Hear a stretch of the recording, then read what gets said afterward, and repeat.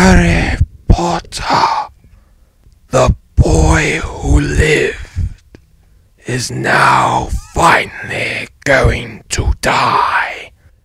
Your wand, Lucius. Give me your wand. As you can see, my wand is no match against Harry Potter. So, I must find a new wand. Avada Kedavra!